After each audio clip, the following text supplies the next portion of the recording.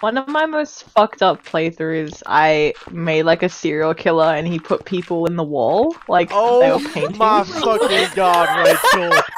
Holy shit!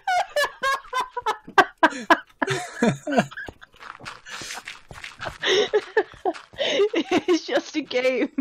it's just just a I'm so scared.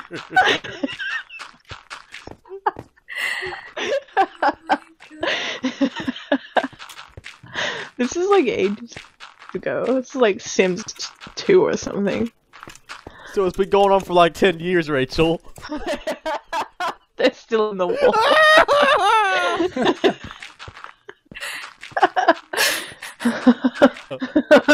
oh god, I'm crying. I can't stop. So all I'm thinking of is like hearing a bunch of Sims banging on a wall like Snurpla Derb. oh my god.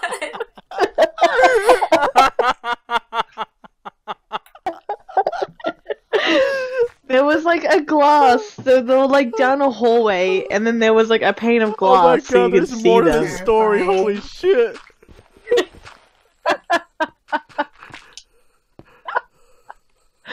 Oh, like living paintings. Oh, I just got was- oh my god!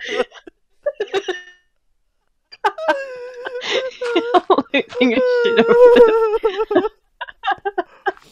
Uh, I'm crying.